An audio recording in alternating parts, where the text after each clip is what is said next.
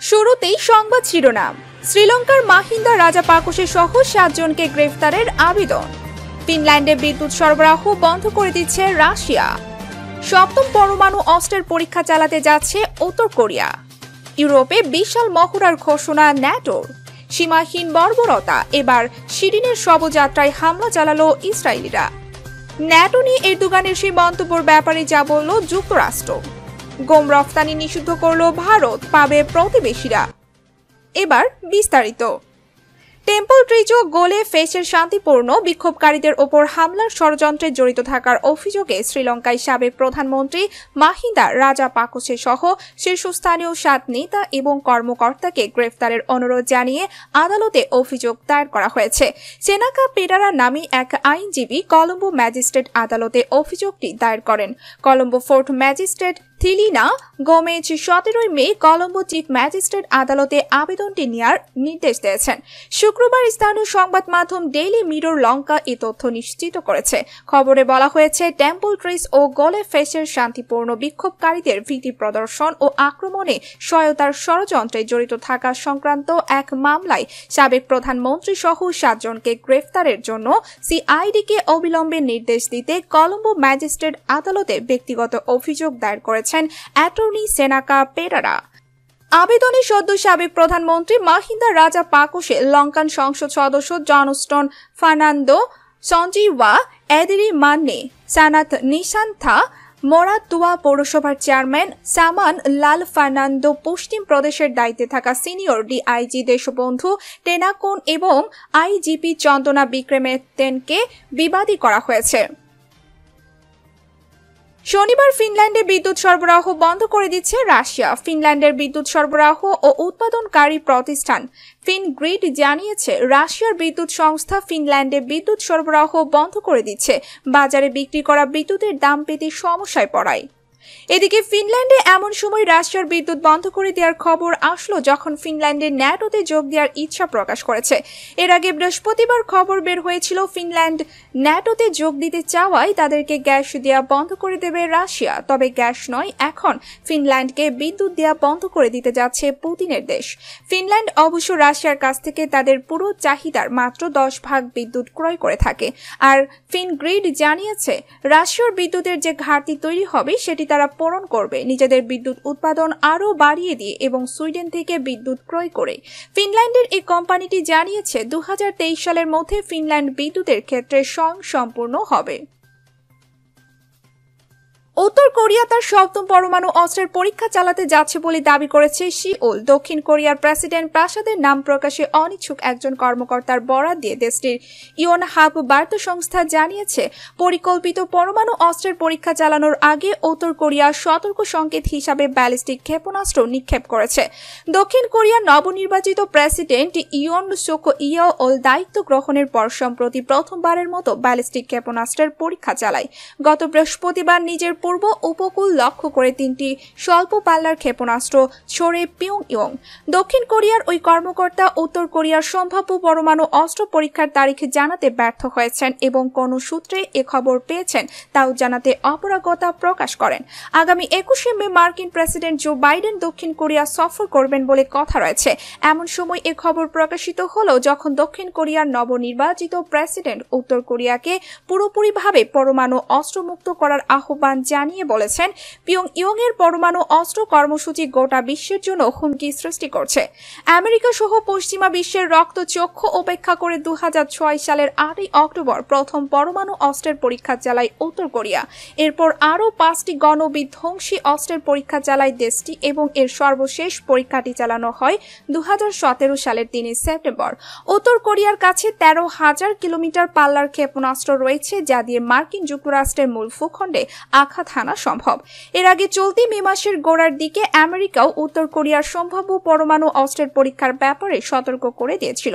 মার্কিন পররাষ্ট্র দপ্তরের উপমুখপাত্র জ্যালিনা পোর্টার গত সপ্তাহে বলেন, মার্কিন যুক্তরাষ্ট্র একথা বুঝতে পেরেছেন যে উত্তর কোরিয়া পুঙ্গির স্থাপনাটি প্রস্তুত করছে এবং সেখানে শীঘ্রই পরমাণু অস্ত্রের পরীক্ষা চালানো হবে। রুশ আগ্রাসন মোকাবেলায় ইউরোপ জুড়ে বিশাল সামরিক মহড়ার ঘোষণা দিয়েছে ন্যাটো।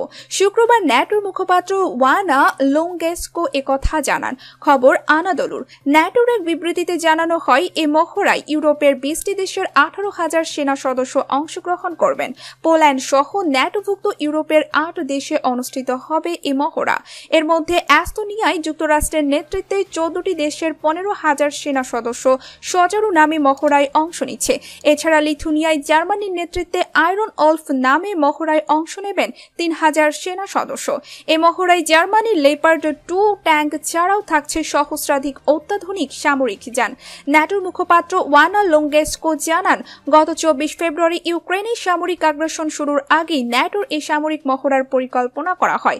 বিশেষজ্ঞরা মনে করছেন ন্যাটোর শক্তিমত্তা প্রদর্শনের জন্যই এ বিশাল মহড়ার আয়োজন করা হচ্ছে। তবে এখন পর্যন্ত মহড়া শুরুর দিনক্ষণ প্রকাশ করা হয়নি। ইহুদিবাদী ইসরায়েলি সেনাদের গুলিতে নিহত ফিলিস্তিনি সাংবাদিক শিরিন আবু আকলেহর দাফন অনুষ্ঠানে হামলা চালিয়েছে ইসরায়েলি পুলিশ বাহিনী। খ্রিস্টান ও মুসলিম নির্বিশেষে হাজার হাজার ফিলিস্তিনি শুক্রবার যখন পূর্ব বাইতুল মোকাদ্দাসের একটি হাসপাতাল থেকে শিরিনের লাশ বহনকারী কফিন নিয়ে বের হন, তখন ইসরায়েলি পুলিশ সেখানে হানা দেয়। তারা সেখানে শোকাহত জনতার ওপর টিয়ারশেল ও রাবার বুলেট নিক্ষেপ করে। ইসরায়েলি বাহিনীর এলো পাথারি লাঠিচার্জে এক পর্যায়ে শিরিনের কফিন মাটিতে পড়ে যাওয়ার উপক্রম হয়। এ সময় ঘোরসওয়ার ইসরায়েলি সেনারা সাউন্ড গ্রেনেড ব্যবহার করে। হামলায় বহু শোকার্ত ফিলিস্তিনি আহত হন। গত এগারোই মে সকালে অধিকৃত পশ্চিম তীরের জেনিন শরণার্থী শিবিরে ইসরায়েলি সেনাদের আগ্রাসনের খবর প্রচার করতে গিয়ে ইহুদিবাদী সেনাদের গুলিতে নিহত হন কাতার ভিত্তিক নিউজ চ্যানেল আল জাজিরার সাংবাদিক শিরিন আবু আকলে। তাকে কাছে থেকে মাথায় গুলি করে হত্যা করা হয়। ওই হামলায় আরেক ফিলিস্তিনি আহত হন যার চিকিৎসা চলছে। ইসরায়েলি পুলিশের হামলা সত্ত্বেও শত শত ফিলিস্তিনি শিরিন আবু আকলেহের কফিন বাইতুল মুকাদ্দাসের পুরনো অংশে খ্রিস্টানদের কবরস্থানে নিয়ে যেতে সক্ষম হন এবং সেখানে তাকে দাফন করা হয়। এই সময় শিরিনের সম্মানে বাইতুল মুকাদ্দাসের সবগুলো গির্জা থেকে একসঙ্গে ঘণ্টা বাজানো হয়। সুইডেন এবং ফিনল্যান্ডের ন্যাটোর সম্ভাবনা সদস্য পদ নিয়ে তুরস্কের অবস্থান স্পষ্ট করার জন্য যুক্তরাষ্ট্র কাজ করছে। মার্কিন পররাষ্ট্র দফতরের মন্ত্রণালয়ের এক শীর্ষ কর্মকর্তার বরাত দিয়ে কাতার ভিত্তিক সংবাদ মাধ্যম আল জাজিরা শুক্রবার প্রতিবেদনে এ তথ্য জানিয়েছে। ইউরোপীয় ও ইউরেশীয় বিষয়ক মার্কিন সহকারী পররাষ্ট্রমন্ত্রী কারেন ডন ফ্রাইড সাংবাদিকদের বলেন, চলতি সপ্তাহের শেষে বার্লিনে ন্যাটো মন্ত্রী পর্যায়ের বৈঠকে বিষয়টি নিয়ে আলোচনা করা হবে। এর আগে শুক্রবারই স্ক্যান্ডিনেভিয়ান দেশ ফিনল্যান্ড ও সুইডেনের ন্যাটো জোটে যোগদানকে তুরস্ক ইতিবাচকভাবে দেখছে না বলে সাফ জানিয়ে দিয়েছেন দেশটির প্রেসিডেন্ট রিসেপ তাইয়েব এরদোগান। ইস্তাম্বুলে জুমার নামাজের পর এরদোগান সাংবাদিকদের বলেন, ন্যাটো সদস্য তুরস্কের পক্ষে সামরিক জোটে যোগদানের জন্য সুইডেন এবং ফিনল্যান্ডের পরিকল্পনাকে ইতিবাচকভাবে দেখা সম্ভব নয়। তুরস্কের প্রেসিডেন্ট বলেছেন, আমাদের ইতিবাচক মতামত নেই। স্ক্যান্ডিনেভিয়ান দেশগুলো সন্ত্রাসী সংগঠনের গেস্ট হাউসের মতো। এই সময় এরদোগান তুরস্কের আগে শাসক উনিশশো সালে গ্রিসকে ন্যাটো সদস্য পদের অনুমোদন দিয়ে ভুল করেছিলেন উল্লেখ করে তিনি বলেন, আমরা দ্বিতীয়বার একই ইস্যুতে ভুল করতে চাই না। এরদোগান স্ক্যান্ডিনেভিয়ান দেশগুলোর বিরুদ্ধে কুর্দিস্তান ওয়ার্কার্স পার্টি এবং চরম বামপন্থী revolutionary peoples liberation party front সদস্যদের আশ্রয় দেওয়ার অভিযোগ করেছেন। এদিকে ন্যাটো সদস্য তুরস্ক ইউক্রেনকে ড্রোন সরবরাহ করলেও পশ্চিমা মিত্রদের মতো রাশিয়ার ওপর নিষেধাজ্ঞা আরোপ করা থেকে বিরতই রয়েছে। তবে যেহেতু তুরস্কের রাশিয়া ও ইউক্রেন দুই দেশের সঙ্গে সুসম্পর্ক রয়েছে, তাই রুশ আগ্রাসনের শুরু থেকেই আঙ্কারা সংঘর্ষের অবসানের জন্য মধ্যস্থতা করে কেভ ও মস্কোর মধ্যে শীর্ষ সম্মেলন আয়োজনের প্রস্তাব দিয়েছে। দেশীয় বাজারে দাম কমানোর লক্ষ্যে গম রফতানি নিষিদ্ধ করেছে ভারত। শুক্রবার ঘোষণার সঙ্গে সঙ্গে তাৎক্ষণিকভাবে কার্যকর হয়েছে এ নিষেধাজ্ঞা। তবে বাংলাদেশের জন্য আসার কথা, নিজেদের চাহিদা মেটানোর পাশাপাশি প্রতিবেশী ও খাদ্য সংকটের ঝুঁকিতে থাকা দেশগুলোতে চরম রফতানি অব্যাহত রাখার সিদ্ধান্ত নিয়েছে ভারত। খবর এনডিটিভির।